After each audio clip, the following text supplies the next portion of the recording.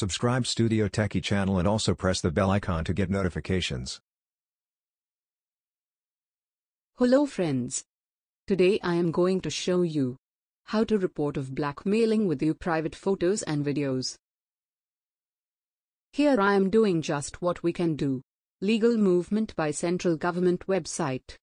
So, let's start.